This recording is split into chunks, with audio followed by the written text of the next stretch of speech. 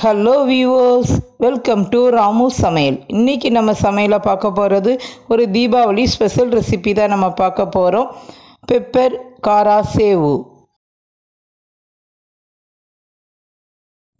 இங்கே பாருங்கள் வியூவர்ஸ் இன்றைக்கி நம்ம வீடியோவில் பார்க்க போகிறது தீபாவளி ஸ்பெஷல் ரெசிபி தான் நம்ம பார்க்க போகிறோம் பெப்பர் காரா சேவு மிளகு போட்டு நம்ம காரா சேவை நம்ம ரெடி பண்ண போகிறோம் இதுக்கு நான் வந்து ஃபஸ்ட்டு ஒரு மிக்சிங் பவுல் எடுத்திருக்கேன்.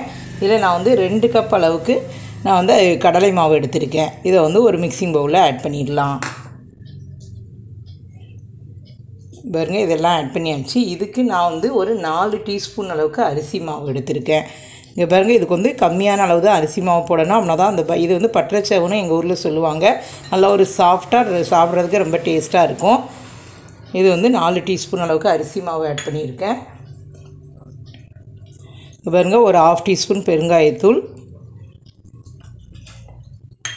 இதில் வந்து காரத்துக்கு தனி மிளகாய் தூளியை தான் ஆட் பண்ண போகிறதுல இது வந்து மிளகு சேவுங்கிறதுனால நான் வந்து ஒரு ஒன் டீஸ்பூன் அளவுக்கு பெப்பர் எடுத்து ஒன்று ரெண்டாக உரலில் வந்து தட்டி எடுத்துகிட்டு வந்திருக்கேன். இதை வந்து அப்படியே இதில் ஆட் பண்ணிடலாம். இப்போ இதில் வந்து கொஞ்சமாக வந்து ஒரு சிட்டிகை வந்து நம்ம வந்து சோடா உப்பு ஆட் பண்ணிக்கலாம். இங்கே பாருங்கள் இவ்வளோ தான் ஆட் பண்ணியிருக்கேன். அப்படின்னா தான் கடையில் உள்ள மாதிரியே நமக்கு கிடைக்கும். இதையும் வந்து இதில் ஆட் பண்ணிடலாம். இப்போது இந்த சேவுக்கு தகுந்தாப்புல நம்ம வந்து உப்பு ஆட் பண்ணிடலாம். இப்போ வந்து இது வந்து ஃபஸ்ட்டு நம்ம வந்து ட்ரையாகவே நல்லா மிக்ஸ் பண்ணி விட்டுக்கிடுவோம். மிக்ஸ் பண்ணி விட்டுட்டு இப்போ இதில் வந்து ஃபஸ்ட்டு வந்து சூடான எண்ணெயை தான் நம்ம ஆட் பண்ணணும். அதுக்கப்புறம் தான் அதுக்கப்புறம் தான் தண்ணி விட்டு கொஞ்சம் கொஞ்சமாக நம்ம வந்து மிக்ஸ் பண்ணணும். இங்கே பாருங்கள் இப்போ இது எல்லாமே நல்லா ட்ரையாக நம்ம வந்து மிக்ஸ் பண்ணி விட்டாச்சு.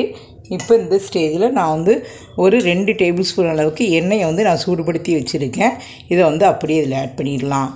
எண்ணெயை வந்து நல்லா சூடுபடுத்தி ஆட் பண்ணும்போது நல்லா வந்து நமக்கு கிரன்ச்சியாக நமக்கு கிடைக்கும். ஃபஸ்ட்டு இதை வந்து கொஞ்சம் ஒரு ஸ்பூன் வச்சு நம்ம மிக்ஸ் பண்ணி விட்டுக்கலாம். கொஞ்சம் கை பொறுக்கிற சூடு வந்தோடனே நம்ம வந்து நம்ம வந்து தண்ணி விட்டு நம்ம மிக்ஸ் பண்ணிக்கிடுவோம். இங்க பாருங்கள் இதெல்லாம் நல்லா ஒன்றா கலந்துட்டு இப்போ இந்த ஸ்டேஜில் நம்ம வந்து கொஞ்சமாக வந்து தண்ணி ஆட் பண்ணிக்கலாம். ரொம்ப வந்து மாவு வந்து டைட்டாக மிக்ஸ் பண்ணக்கூடாது. இங்கே பாருங்கள் கொஞ்சமாக வந்து தண்ணி விட்டு பார்த்துக்கிடுவோம். இப்போ இதை வந்து நல்லா மிக்ஸ் பண்ணிக்கிடுவோம். இப்போ இன்னும் கொஞ்சம் வந்து தண்ணி தேவைப்படுது. அதையும் ஊற்றி நம்ம மிக்ஸ் பண்ணி எடுத்துக்கலாம். இங்கே பாருங்கள் நான் வந்து மாவு வந்து இந்த அளவுக்கு மிக்ஸ் பண்ணி வச்சுருக்கேன். இங்கே பாருங்கள் இப்படியே இருக்கட்டும். மேலே கொஞ்சமாக வந்து ஆயில் வந்து மறுபடியும் நான் ஆட் பண்ணிவிட்டு நல்லா மிக்ஸ் பண்ணியிருக்கேன் இப்போ இப்படியே இருக்கட்டும். அதுக்குள்ளே நம்ம இதுக்கு தேவையான எண்ணெயை வந்து நம்ம சூடுபடுத்திக்கலாம். இங்கே பாருங்கள் வியூவர்ஸ் நான் வந்து மாவு பிணைஞ்சு ஒரு டென் மினிட்ஸ் ரெஸ்ட்டில் விட்டுருந்தேன். இப்போ நான் வந்து ஸ்டவ் ஆன் பண்ணி ஒரு கடாயில் வந்து எண்ணெயை நான் சூடுபடுத்தி வச்சுருக்கேன். ஸ்டவ்வை வந்து கொஞ்சம் மீடியமான ஃப்ளேம்லேயே வச்சுக்கோங்க. இப்போ நான் வந்து இடியாப்ப உலக்கில் அந்த மூணு ஹோல்ஸ் உள்ள அந்த இது போட்டு நான் இப்போ ரெடி பண்ணியிருக்கேன். இப்போ இதை வந்து அப்படியே இதில் வந்து ஆட் பண்ணிடலாம். முறுக்கு மாதிரி மொத்தமாக புழிஞ்சிட்டு அதுக்கப்புறம் நம்ம வந்து உடச்சி விட்டுக்கலாம். இது வந்து உங்கள் விருப்பம்தான். இல்லை தனித்தனியாக கூட நீங்கள் செஞ்சுக்கலாம். இதை பாருங்கள் எந்த அளவுக்கு வேணுமோ அந்த அளவுக்கு போட்டுக்கோங்க. நல்லா கொஞ்சம் வீதியாகவே போடுங்க.